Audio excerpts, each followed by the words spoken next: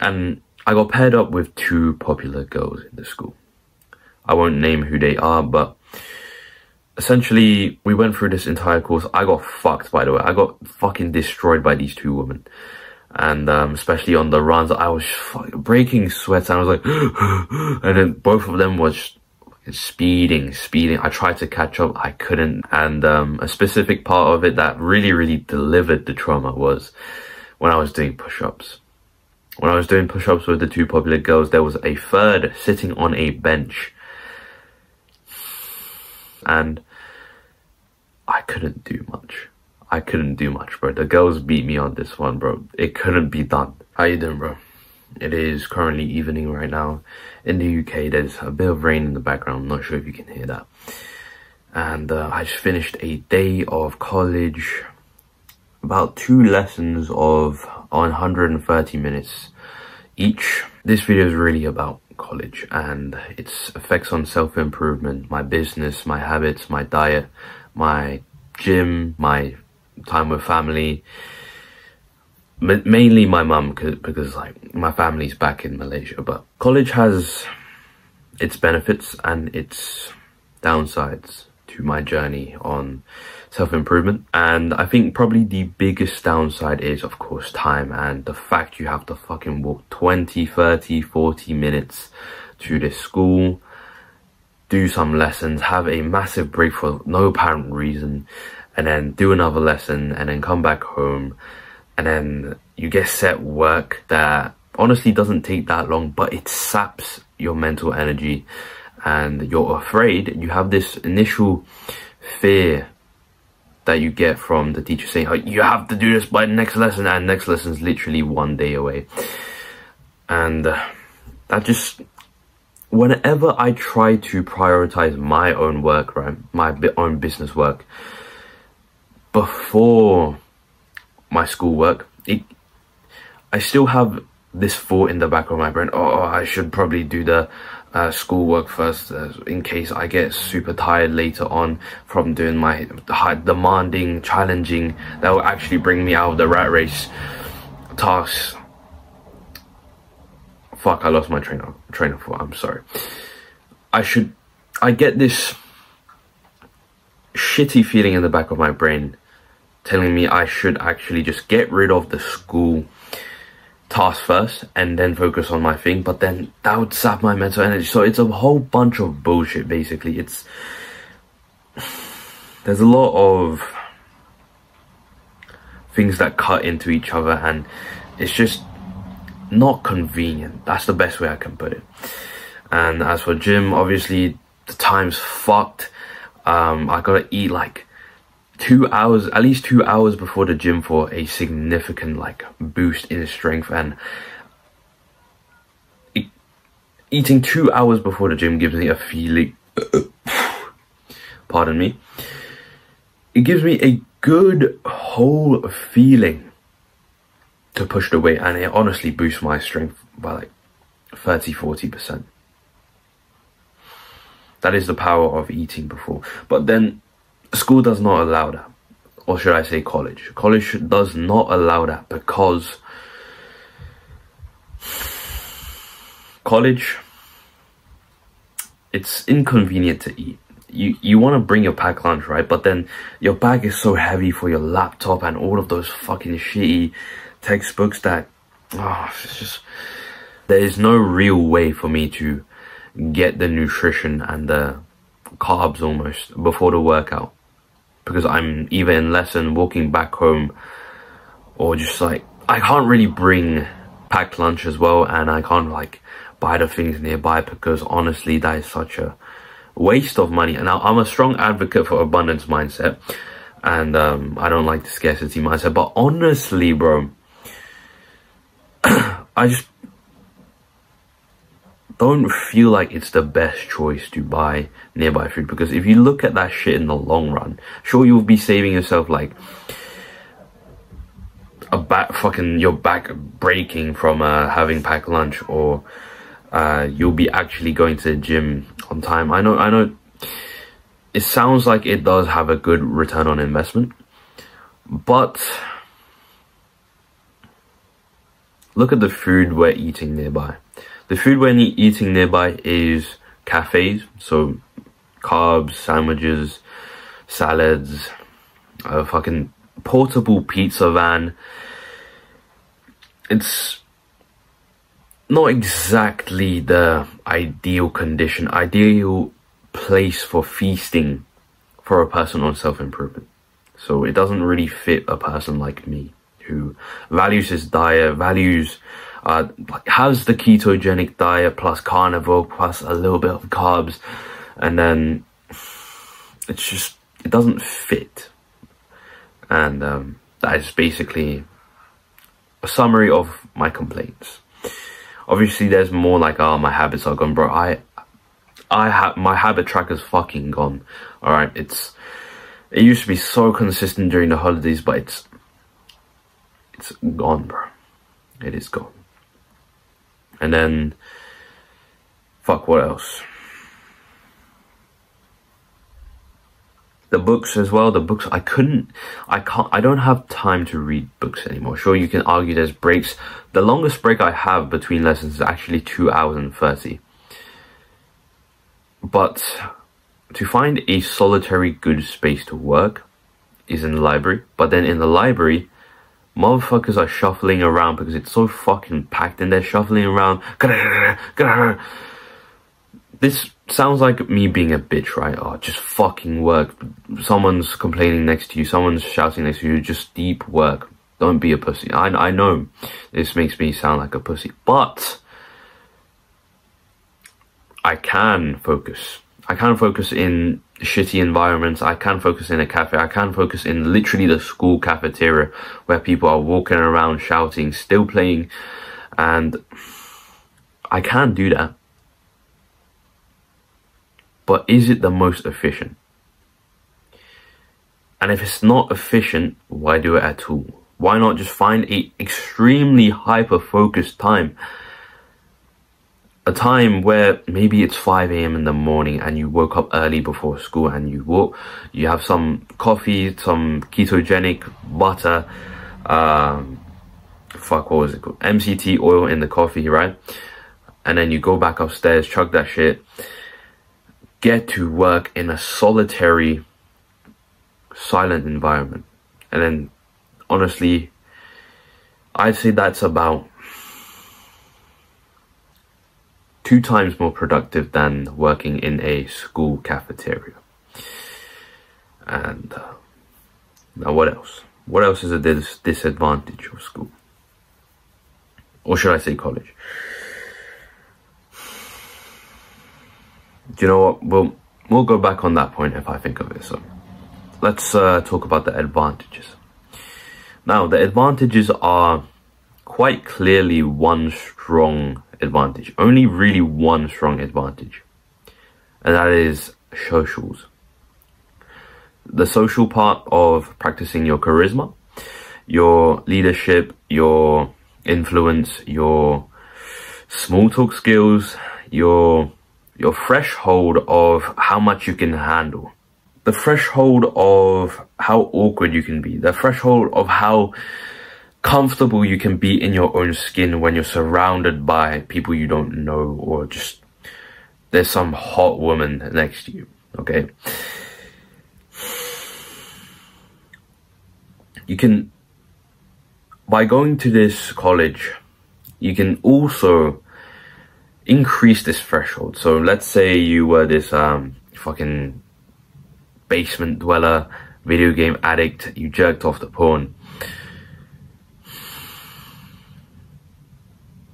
Your threshold would probably be shit. You'd probably just go back to, you probably want to locate your Discord, your Discord gamer friends at your college if you have them there.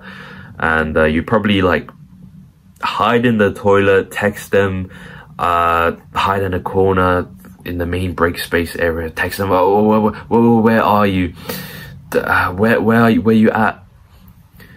That is probably what you would do, and that is what I did once in um, secondary school. But I have noticed a significant increase in my threshold. And whether I like it or not, it's whenever you increase this threshold, right? It gives you a like it gives you two feelings. It gives you a feeling of yes, I'm the fucking man now. I have so much confidence. I'm so good, and then it gives you a tired feeling, and then spe specifically when you're sitting on your sofa, you go back home, took a shower from the gym, and you're just relaxing on the sofa. You're comfortable now, right? And then you think back to the uh, situation where you were challenged. You were a little bit outside of your edge as a man you were a little bit outside of your comfort zone. Perhaps you were sitting next to a um, pretty attractive woman. Perhaps you were sitting on a table of complete fucking strangers. You think back to it. You're sitting on your sofa. You think back to that moment, and you kind of just don't want to do it again.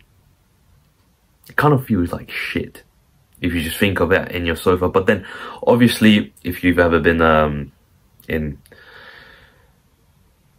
social situations before you don't want to talk to someone but then you meet them you meet them anyways you go to school anyways you go to college anyways you talk to them anyways it's fine. It turns out it's fine and like every single time it's fine. It's just when you're ever whenever you're thinking in a place of comfort thinking about a difficult situation it just feels like shit. And then when you're actually in the environment and you're in flow, almost in a social flow, then it's really easy. Another advantage is also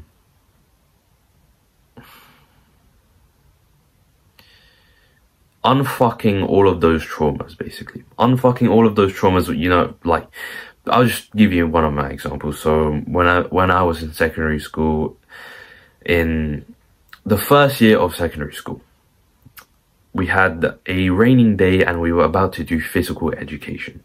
It was PE and it was heavy rain, so we could not do our basketball, netball, football outside. And so we had to do something called the physical fitness test, or it was like the obstacle course. It was like a course that obstacle course that they designed like in the giant sports hall that just went all the way around and it's all different types of energies from shuttle runs to um, push-ups to jumping jacks to so on so on so on bicep curls even with fucking 1 kg 2 kg and and i got a trauma from there because i was this weak guy i was this weak apologies. I was this weak, chubby, quite literally disgusting. I honestly wouldn't blame the females that hate, like, thought I was disgusting back then. I, looking back in pictures now, yes, I feel sorry for him and um, I'd actually do anything to help that guy, but I wasn't the best looking, I wasn't the best, I hadn't got the best charming looks and um, I kind of just looked like a like the typical Chinese nerd, but chubby. And I got paired up with two popular girls in the school. I won't name who they are, but essentially, we went through this entire course. I got fucked, by the way. I got fucking destroyed by these two women. And um, especially on the runs, I was breaking sweats and I was like, and then both of them was speeding, speeding. I tried to catch up. I couldn't. The most fucking humiliate, humiliate, fuck, humiliating thing I have ever experienced. And um, a specific part of it that really, really delivered the trauma was when I was doing push-ups. When I was doing push-ups with the two popular girls, there was a third sitting on a bench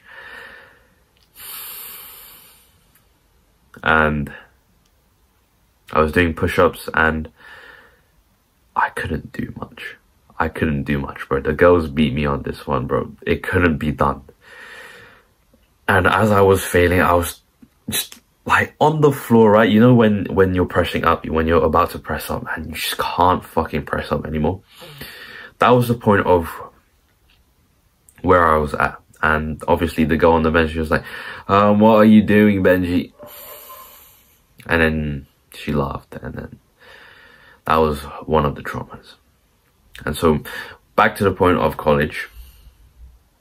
You can unfuck a lot of these traumas. That was just one example, but I, I fucking hundreds. And I just just so you know, I hold those traumas as trophies. I'm grateful for them. They make me the man I am. They make me disciplined. They make me a stronger man. They make they like all of these muscles. Honestly, bro, it's all traumas. It's all demons that made these muscles, basically. And so, going to college will break these traumas for you especially if you've been on self-improvement right if especially if you've been on vigorous self-improvement. You've been meditating consistently doing many many habits recently like many many habits consistently been going to the gym consistently. You will feel that you are able to break out of your shell break out of the mold that you've been placed under. So let's say secondary school is here right? It's early. And then there's college. So you've been put into a shitty mode here. People think you're a widow. Uh, you try your best to be a Sigma to gain some respect back for your fucking broken beta self. Uh, you've never talked to a fucking woman in your life. I'm talking about me, by the way. This is not like when I say you, I'm I'm talking to myself, by the way.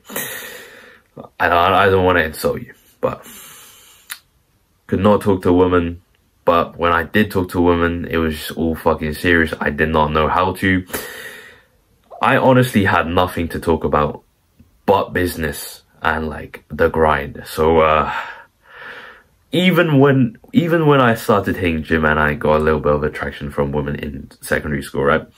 I was still in that mode and it just did not work out. It just I started talking about business shit and the grind and uh it's just most of the time, right? This is a lesson learned. Most of the time, people are in conversations to have fun. That is something I learned from, I believe, charisma on command, but then I've also reinforced that in my brain through trial and error. Most of the time, conversations are for fun. And from what I noticed, if you just turn shit to talking about philosophies, business, uh, what your goals are, there aren't really any smiles anymore. It's all just serious and just thinking now. And uh, especially with a woman, that does not work. You cannot, please, please do not talk about business and philosophy and shit. Unless, unless you found yourself a 0.1% woman, a woman who is like feminine, uh, fucking on self-improvement as well, a woman of God, wants to have sex after marriage, wife material. Unless you found that woman, have every conversation as fun, basically. Be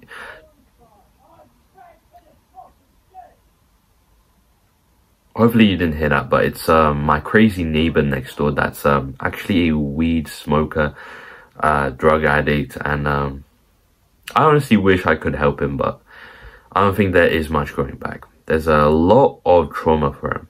I know I'm going on a side, side tangent, but there's a lot of family issues and deepest apologies, deepest fucking regards for him, but God bless him, I guess. Let God handle him. Fuck, what was I on? I was talking about the conversation and uh, with women and uh, whatever, right? So, assuming you have this mold of you, this mold that is everyone thinks you're a decrepit guy, you're a fucking weirdo, and whatever. But then in the deep darkest, like you're in your double life, basically. This this is your life, right? You're you're just this fucking silent sigma guy, when really you're actually a beta. You practice your self-improvement to a vigorous amount because you have all of these traumas and all of these haters to prove them wrong, right? You fucking accelerate yourself. Do hours and hours of deep work, waking up at 5 a.m. You do that work. Both for your mental health, for your general well-being of making sure your diet and your sleep and your, um, you're going to the gym and you're eat like you're meditating, you make sure all of that is done in the background.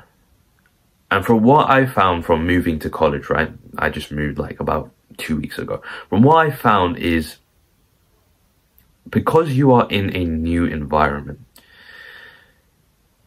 you have the best opportunity to make a new mold of yourself.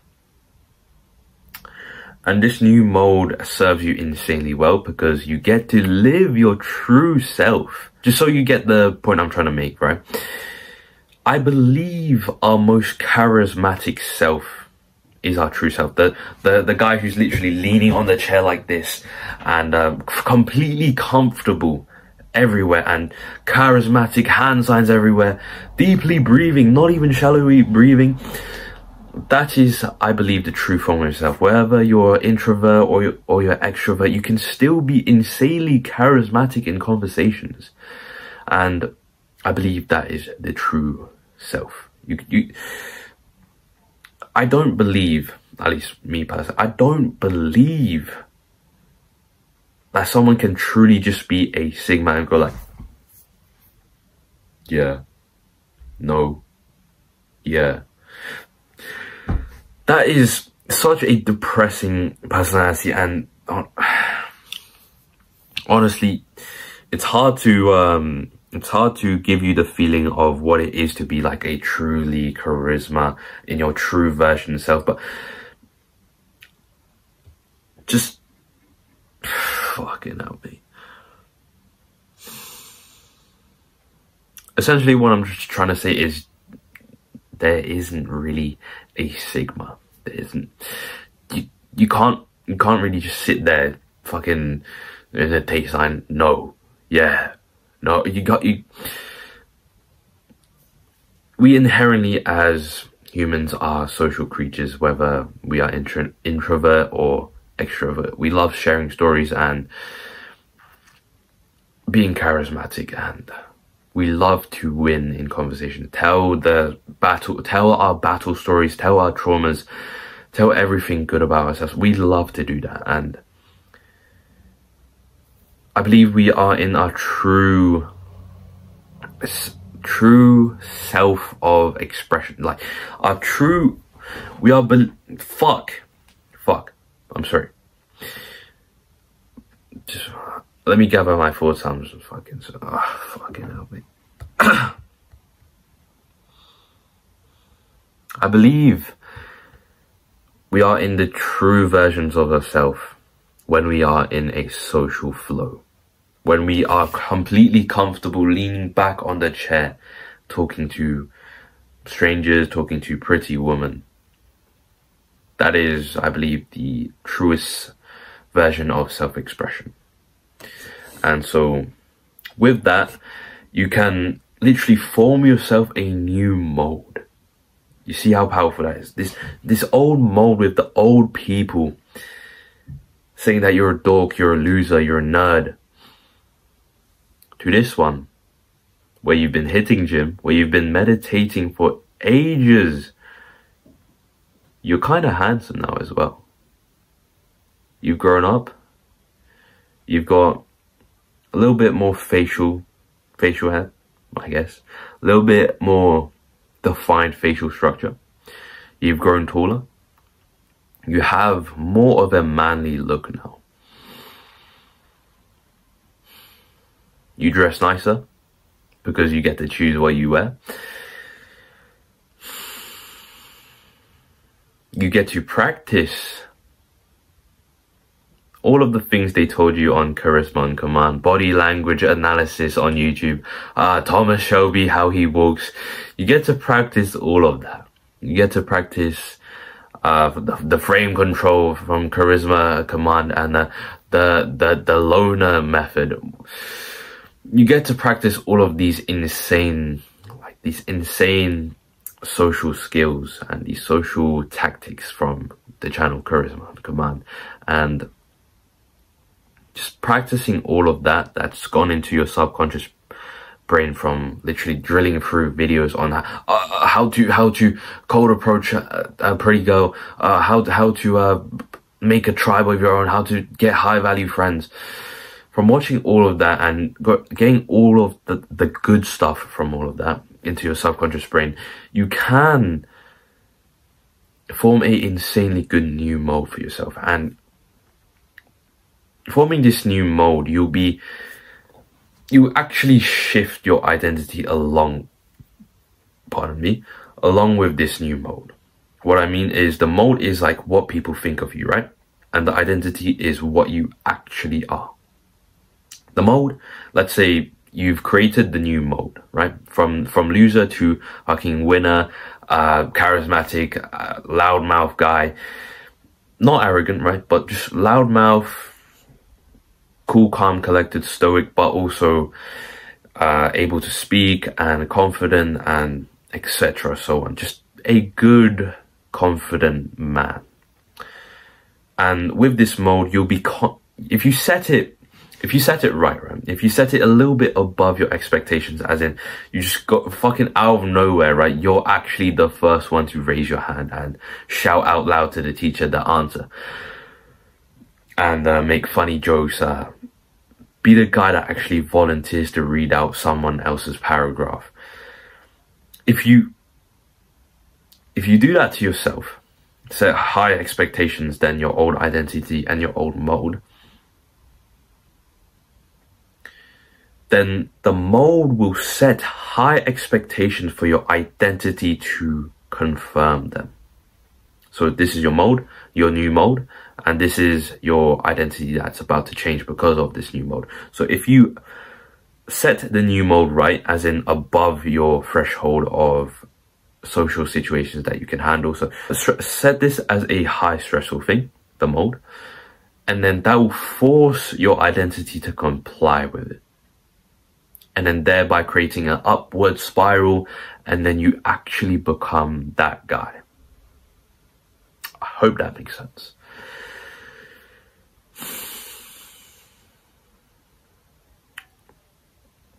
I think another point is also with the traumas, right? This isn't like a point in itself, but let's just let's just call it an addition to the point of um, traumas and shit. Like uh, unfucking your traumas.